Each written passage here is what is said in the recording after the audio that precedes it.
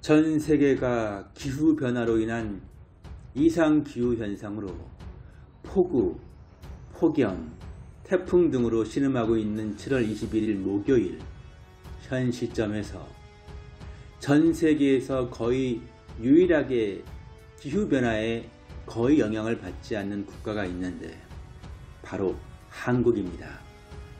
물론 한국도 포항 지진 등과 같은 안타까운 자연재해는 있었지만 이웃 국가들인 중국과 일본에 비교하면 정말로 자연재해에 안전한 국가입니다.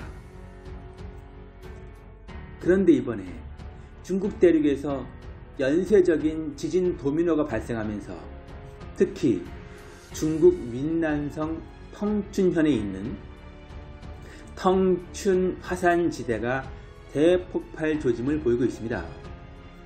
최근 두 달 이상 윈난성 텅춘현 근처에서 발생하고 있는 분발 지진과 전통적으로 중국의 대지진은 쓰촨성과 윈난성에서 도미노로, 도미노로 시차를 두고서 발생하였으며 그 대표적인 대지진이 바로 2008년 중국 쓰촨성과 윈난성의 연쇄 도미노 대지진이었습니다. 또한 중국 윈난성의 화산지대에 고여있는 용암호수에서 발생하는 진동 신호들이 폭발 징후를 보이고 있다는 유럽 지진학자들의 경고들이 계속되고 있습니다. 유럽의 지진학자들은 마그마의 온도가 진동 신호의 지속 시간과 마그마 속 기포의 양을 조사해 본 결과 폭발 징후가 분명히 있다고 경고하고 있습니다. 그런데 말입니다.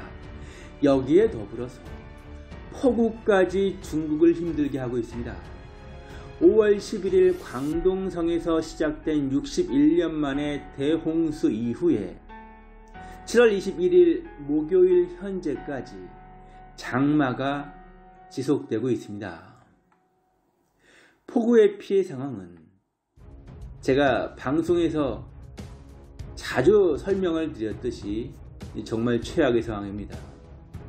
그런데 중국 남부 지역의 폭우와 홍수 상황은 과거에도 중국을 괴롭혀왔던 홍수 사태이므로 걱정은 되지만 지켜보는 상황이었는데 이번에 폭우가 와서는 안 되는 시기에 폭우가 내린 지역이 있습니다.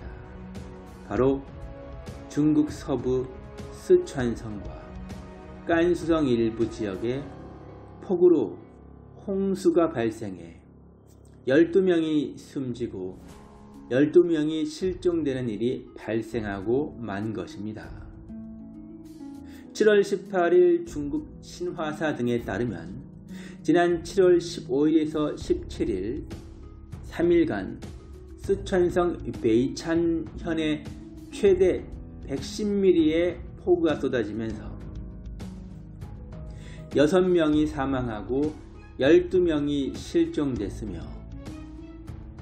또한 주택가 건물이 파손되고 전력과 통신이 두절이 됐습니다. 아마 기억하시는 분들이 많으실 것입니다. 제가 중국 지진 방송에서 늘상 이야기해왔던 지진 소식 지역인 바로 그 쓰촨성 베이촨현에서 폭우가 발생하고 있는 것입니다. 더욱이 쓰촨성 접경 지역인 깐수성 룽난시에서도 최대 강수량이 98.9mm에 달하면서 홍수와 산사태가 발생해 6명이 숨졌습니다. 이번 폭우로 인하여 쓰촨성과 깐수성에서 4만여 명이 침수 피해를 입었고 이재민 12만여 명이 발생했습니다. 기억하시겠지만 깐수성은 일본의 나가노현 지역이라고 보시면 되십니다. 이곳에서 지진이 발생하게 되면 늘상 중국 신장, 쓰촨성 그리고 윈난성으로 지진이 옮겨서 도미노로 발생하였습니다.